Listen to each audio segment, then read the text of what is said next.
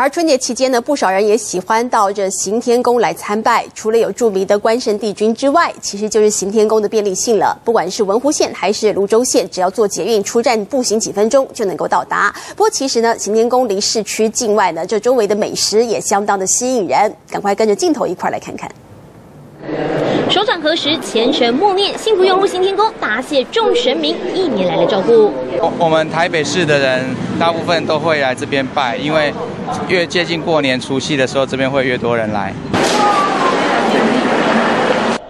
这一圈圈的排队人潮，等着就是站在第一排身穿蓝色衣服的受精婆婆。婆婆拿着两炷香，手势比来比去，看似简单的仪式，说过婆妈都说真的能够平安一整年。哦，我觉得拜完之后真的有比较健康一点，对啊，然后，呃，就是拜完就是有不愉快的事情来这边，就是会比较心安。行天宫香火鼎盛，除关圣帝君闻名，被信众奉为商业保护神外，行天宫地理位置佳，捷运文湖线、泸州线通通都可以直达。而来到这里，外围的知名美食更是不能错过。